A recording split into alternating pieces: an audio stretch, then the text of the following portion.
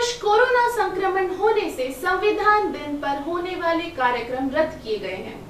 संविधान दिन या राष्ट्रीय विधि दिन यह 26 नवंबर को भारत भर मनाया जाता है। 29 अगस्त 1947 को डॉक्टर बाबा साहेब आम्बेडकर इनके नेतृत्व में भारतीय संविधान की निर्मित के लिए मसूदा समिति स्थापन हुई। अनेक बैठक और चर्चा के बाद इस समिति ने पेश किया अंतिम मसूदा। 26 नवंबर उन्नीस को संविधान सभा ने स्वीकारा। जिसे 26 नवंबर यह दिन संविधान दिन के तौर पर मनाया जाता है।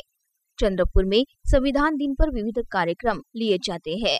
इस बार कोरोना के संकट से डॉक्टर बाबा साहेब आम्बेडकर शतकोत्तर समिति द्वारा होने वाले सभी कार्यक्रम रद्द किए गए हैं।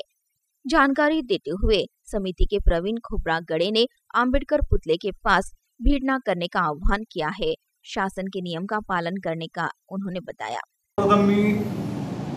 डॉक्टर बाबासाहेब आंबेडकर यांनी आपल्याला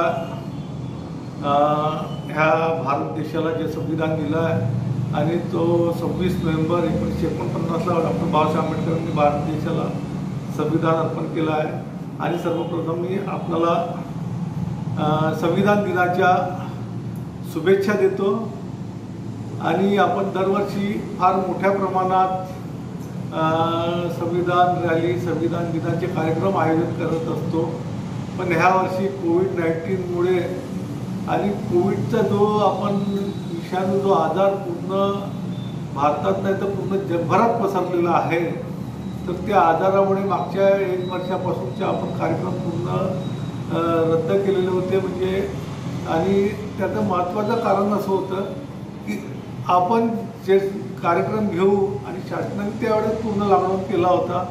आणि कोणते कार्यक्रम घ्यायचे म्हटलं तर आपल्याला स्वतःला त्रास आपल्या परिवाराला त्रास समाजाला त्रास पुन्हा आपल्यामुळे दोन लोकांना त्रास होऊ नये म्हणून आपण कोणते कार्यक्रम मागच्या अं, मार्चपासून ते सर्व बंद केलेले आहे आणि त्याच्यात आता पुन्हा संविधान दिन सव्वीस नोव्हेंबर जो आलेला आहे तर त्या दिवशी अशी म्हणजे कार्यक्रम घेण्याचं असं नियोजन आम्ही केलेलं नव्हतं कारण त्याचं कारण म्हणजे कोविड नाईन नाईन्टीन म्हणजे कोरोनाचा विषाणू पसरू नये हा आमचा मुख्य उद्देश आहे.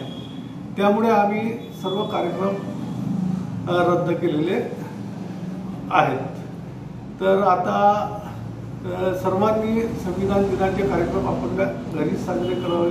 बाबासाहेबांच्या फोटोला मालार्पण करावं.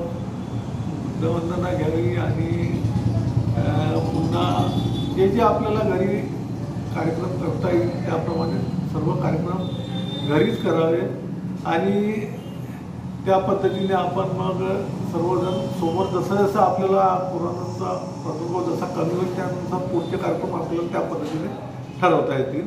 धन्यवाद. जय हिंद. जय भारत.